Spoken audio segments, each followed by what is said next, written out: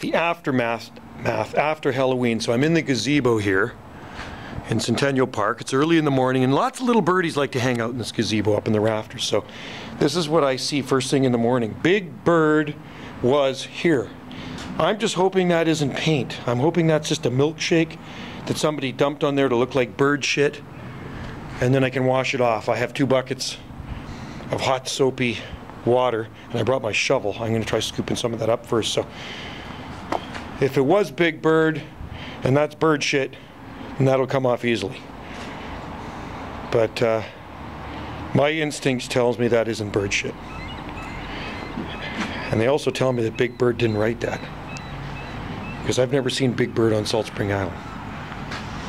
So what I'm going to do is I'm going to take that water and I'm going to wash that off. I'm just hoping that's a milkshake and not paint. Because I know it's definitely not Big Bird shit. Anyway, I'm going to take that off right now. See if the water kind of dilutes it.